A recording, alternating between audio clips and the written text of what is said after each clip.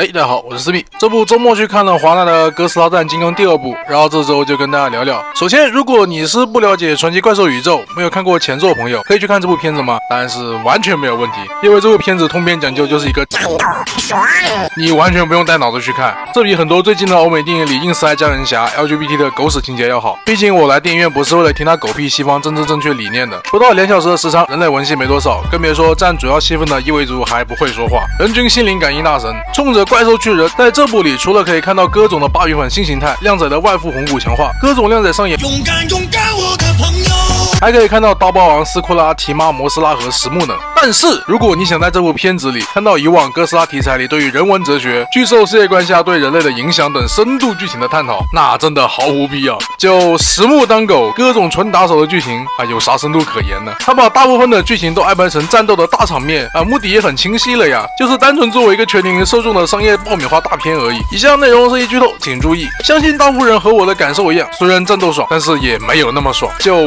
本质上抛开剧情不谈了啊，结果就连怪兽的表现力也没有达到我的预期。最基本的上代鸡哥把各种摁着锤，还差点把各种嘴巴掰开来个舌吻原子吐息，原汤化原石。结果这代来个废物刀，四个人都知道把他手上那个控制石墨石头一打掉，形成正义的四打一局面啊，那他就没用了，一点反派 boss 该有的压迫感都没有。观看前大家以为的提妈，巴比伦神话的创世巨龙在。水里跟各种打得有来有回的深海巨型泰坦，实际上狗在北极猥琐发育，结果被各种开河找上门，多年积蓄全被抢走，自己还被各种一发嘴炮炸成十块的大号鳗鱼。观看前的刀霸王，凶恶残暴的古老泰坦，作战经验丰富，超高智商，统治了金刚帝国的暴君，实际上肉搏不如靓仔，脑子不如靓仔，没了实木石头屁用没有的废物刀。这是更是重量级刀哥啊！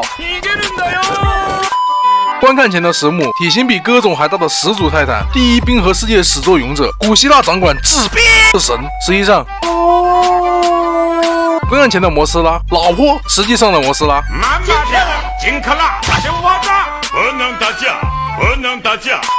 相信大家应该也能看出，传奇两部 GVK 明显对靓仔的偏爱是高于各种的，而这部靓仔直接成为了新生赢家。上部剧情里让靓仔寻找到自己真正的家，并获得祖传神器各种的鳞片，这部里又连着两次强化，先是因为蛀牙而换上了航天级材料的牙，又因为右手被石木冻伤而获得了外部魂骨末日铁拳。靓仔现在的强化路线啊，主打就是一个血肉苦胆、机械飞升，跟数码宝贝的进化路线似的。那我下一步给靓仔装喷射推进器和浮游炮，然后和各种石木。一起打带我应该不过分吧？收了个忠实的小弟苏科，和自己一起打败废物刀，顶级战力泰坦始祖也给自己当狗。我知道靓仔在上一部差点被各种踩死，实力需要提升。但是这一步你直接让一个始祖泰坦给人当狗，就多少有点抽象了呀。而各种这一步对比靓仔待遇，就真的一言难尽。打野打了大半级，先打斯库兰，给人干死了后，狂炫法兰西风味核燃料，跑到北极单杀提妈，一直到吸完提妈留下能量，憋出六神装了，升级成芭比粉了啊，才肯出野区。然后废物刀给的压力又没让人感觉他值得专门升个级，各种的升级版原子吐息又没命中过几次，最大作用还是朝天一喷解除了实木制造的低温天气。中间银河下标题看到靓仔跑到自己的地盘了，给他揍一顿，顺带学习赛博坦人的优良品德，绝法老的坟头。我相信这里靓仔想说的话是这样的：队长，